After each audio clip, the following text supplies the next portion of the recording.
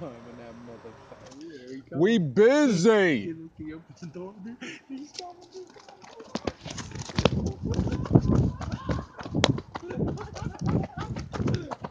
Dude, he opened that door Shit, I didn't- even- I We didn't- didn't even do anything, and he opened that door, dude.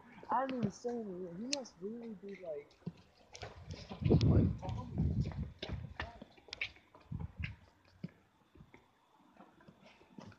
All right, we we are now heading out after running because he was coming out. We don't know where he might be.